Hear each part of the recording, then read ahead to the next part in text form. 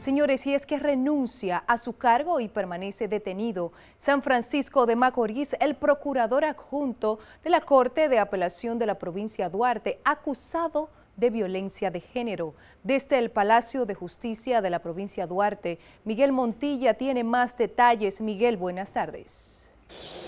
Adelante. Gracias, buenas tardes. Efectivamente, de manera irrevocable renunció a su cargo el procurador adjunto de este distrito judicial de Duarte, alegando que no se le ha dado el trato correspondiente a su cargo. El magistrado Huáscar Fernández, tras la presunta vinculación en un caso de violencia de género contra su actual pareja Yesenia Altagracia Cruz, dimitió del cargo. Discusión que no trascendió absolutamente a nada de que no son los hechos ni este acontecimiento que me han forzado a presentar esta renuncia.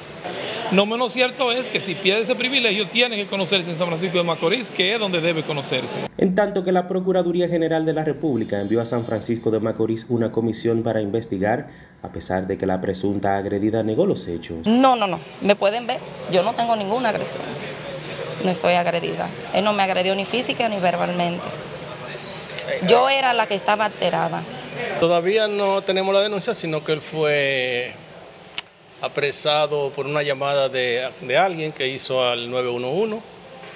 La controversia surge cuando la policía recibiera una llamada de auxilio a través del sistema de emergencias 911 y acudieran a la residencia del funcionario judicial, cuyo caso se espera se conozca en Santo Domingo, ya que Fernández goza de jurisdicción privilegiada.